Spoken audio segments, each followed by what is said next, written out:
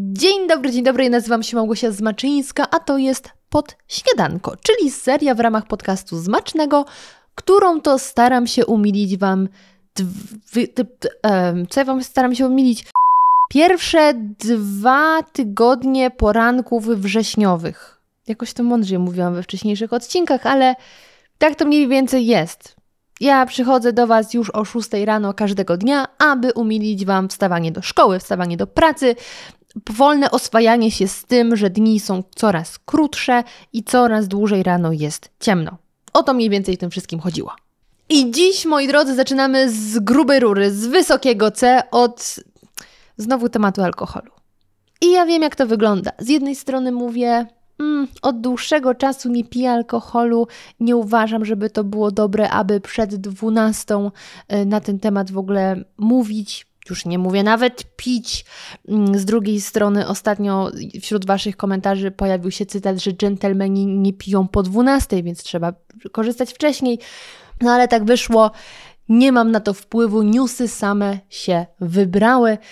I zacznę od pytania prawdopodobnie retorycznego, a mianowicie, czy słyszeliście kiedyś historię o facecie, który zamienił wodę w wino? Czy coś kojarzycie?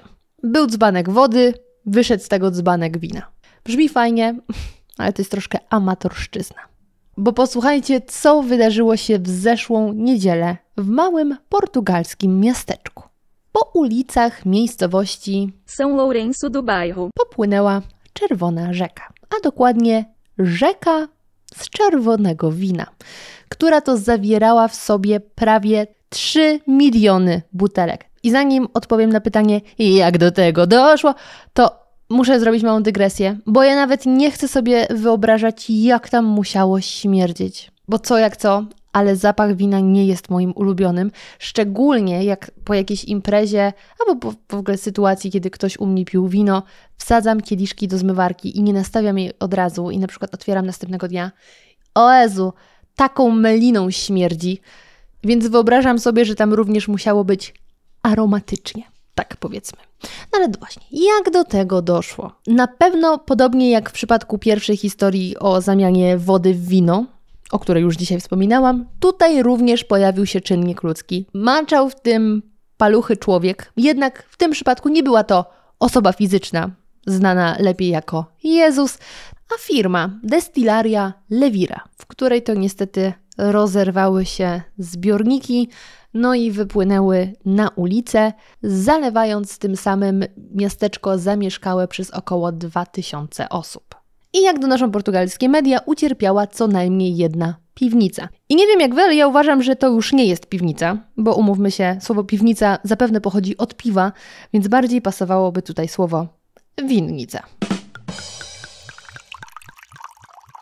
I zostajemy za granicą, ale z Portugalii udajemy się nieco na wschód do Francji. Chociaż to jest w sumie ciekawe, że dla Portugalczyków mm, czy nawet Hiszpanów wschodnia granica to jest Francja, bo dla nas wszystkie te kraje są zachodnie, a dla kogoś mogą być wschodnie. Także to takie śmieszne być może tylko dla mnie, no ale nie o tym. Ale posłuchajcie, jakie ciekawe wieści płyną z Francji. Płyną jak ta rzeka wina. Otóż sieć sklepów Carrefour postanowiła podjąć działania przeciwko zjawisku shrinkflacji. Tak, dobrze słyszeliście? Shrinkflacji. Jest to oczywiście połączenie y, słowa shrink i inflacja. Shrink to jest kurczenie się i ym, określenie to nawiązuje do zmniejszania zawartości opakowania produktu przy jednoczesnym zachowaniu lub podniesieniu jego ceny. I myślę, że więcej tutaj nie muszę tłumaczyć. Większość z nas, jak nie każdy z tym się spotkał, Czyli zakładam, że każdy się z tym spotkał, tylko nie każdy zwrócił na to uwagę. Proste przykłady z Biedronki. Opakowanie mrożonych jagód jeszcze rok temu miało gramaturę 400 gramów, dzisiaj jest to już 300 gramów, cena ta sama. Podobnie w przypadku skyra.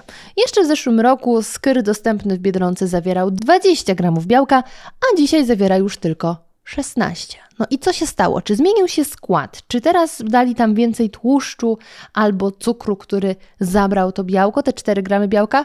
No nie, zmniejszyła się po prostu gramatura i przez to też jest mniej tego białka.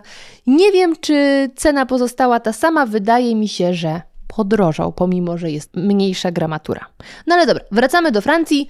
Co tam się wydarzyło? Otóż słuchajcie, od 11 września we francuskich oddziałach sieci znajdziemy specjalne etykiety na produktach podejrzanych o stosowanie tej praktyki. A informacje te przekazuje mnie, a ja teraz Wam Business Insider i oczywiście wszystkie źródła, jak zawsze, zamieszczam w opisie tego odcinka. Ale wracam do tematu. Carrefour argumentuje, że konsumenci mają prawo wiedzieć, które produkty zmieniły swoją wagę czy pojemność przy jednoczesnym wzroście cen od dostawcy.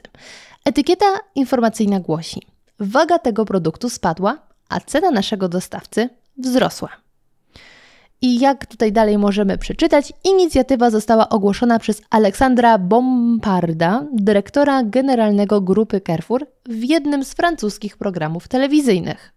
I jak możemy się prawda domyślić, nie wszystkim się to spodobało, między innymi przedstawicielowi francuskiej Federacji Żywności Ania, mm, z której to pan Jean-Philippe André wyraził oburzenie działaniami Carrefoura. W rozmowie z gazetą Le Figaro nazwał te działania hipokryzją i zaznaczył, że fringflacja dotyczy jedynie niewielkiego procenta produktów na rynku. Wiele wskazuje jednak na to, że Carrefour niespecjalnie przejmie się oburzeniem pana Jean-Philippa, ponieważ okazuje się, że podejście Carrefoura zdaje się pokrywać, jak donosi Business Insider, z intencjami francuskiego rządu. Minister gospodarki Bruno Le Maire zapowiada wprowadzenie ustawy zobowiązującej producentów do wyraźnego oznaczenia opakowań w przypadku zmniejszania ich zawartości. I to jest ten moment, kiedy przekazuje wyrazy uznania Francuzom, co nie jest byle wydarzeniem, żeby była jasność, bo ostatnia rzecz, której gratulowałam Francuzom, to mój samochód Renault Clio czwartej generacji. Choć biorąc pod uwagę, że już drugi raz zawisło przede mną widmo wymiany silnika wycieraczek, to coraz częściej się zastanawiam, czy zasłużone były te gratulacje, ale w tym przypadku naprawdę brawo, brawo Carrefour, brawo francuski rząd. Uważam, że downsizing i teraz shrinkflacja to są poważne problemy i to jest oszukiwanie nas. To jest takie, mm, słuchajcie, kochani, no nie podrożało, przecież mamy tą samą cenę, albo no delikatne musieliśmy zrobić podwyżki, zapominając powiedzieć, a jednocześnie zabraliśmy Wam trochę towaru, żeby była jasność. I to, co mnie bardzo smuci, to, że ze strony polskiego rządu nie spodziewam się podobnej mm, akcji, bo jedno jednak oficjalne stanowisko jest takie, że Polska jest krajem dobrobytu, kraina mlekiem i wódką płynąca. A odpowiedzią na inflację, no nie wiem, może być obniżenie stóp procentowych albo znowu podwyższanie y, minimalnego wynagrodzenia, co jak wiemy jest świetnym sposobem na to, żeby inflacja zahamowała. Albo nie. W każdym razie, brawo Francja, brawo Carrefour. I to wszystko, co przygotowałam dla Was w dzisiejszym podśniadanku. Jeśli uważacie, że była to dobra prasóweczka, jeśli mm, dodałam Wam dzisiaj trochę energii do życia, to przypominam, że możecie zostawić mi na kawek, czyli postawić taką wirtualną kawę za pośrednictwem buycoffee.tu ukośnik zmacznego albo patronite.pl ukośnik zmacznego. Dodam tylko, że zrobiło mi się wczoraj bardzo miło, jak dostałam wiadomość od jednej słuchaczki, którą serdecznie teraz pozdrawiam, że bardzo podoba jej się określenie na kawek.